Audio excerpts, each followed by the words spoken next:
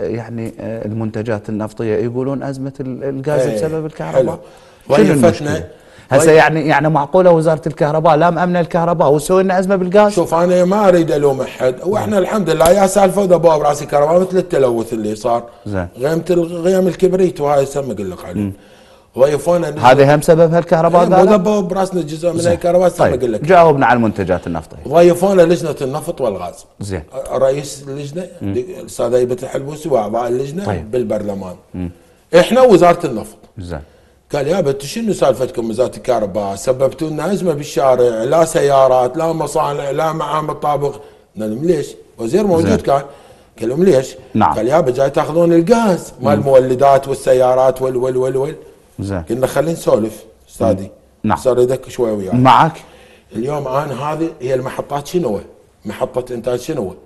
يعني محرك. زين. محرك. تفضل. مثل المولدة بس كبير مو؟ زين هو هذا المحرك حتى يشتغل على من يشتغل؟ على الوقود. أكيد. لو غاز وطني وأكو يشتغل. زين. زين من ما يكفي؟ استوردت غاز تستوردون غاز نعم. يعني إذا غاز وطني ماكو. وغاز إيراني اللي يشغلها قل. وغاز اويل ما ترضى تعطيني زين. بس يشغل هذا المحرك بس يشغله هاي وحدة. طيب. وزارة النفط كانوا ويانا بالاستضافة هذا الحكي أمام لجنة النفط والغاز. قلنا يا وزارة النفط السيد مدير عام دائره توزيع المنتجات أنت إيش قد باليوم تقدر تصرف؟ نعم. غازويل قال أنا أصرف من 38 ألف متر مكعب ل 43 مليون عفوا ألف متر مكعب. طيب. المن قال للكهرباء وللمولدات وللسيارات وللمصانع ولهذا الاحتياج اليومي. زين. قلنا أنت إيش قد هاي قدام لجنة النفط والغاز. طيب. قلنا له أنت إيش قد تعطينا باليوم؟ قال 5000 متر مكعب. قلنا له خوش 5000 من أصل 43 يعني بقى 38 يعني مو بس إحنا مخلصين الغاز. يعني المفروض أكو شركاء أنت مطينا خمسة يعني أكو 38 ألف زين. بعد. يعني شنو؟ يعني مو أنا اللي مسوي ازمه هاي واحدة لأن أنت تعطيني من اصل 43 تعطيني خمسة باليوم.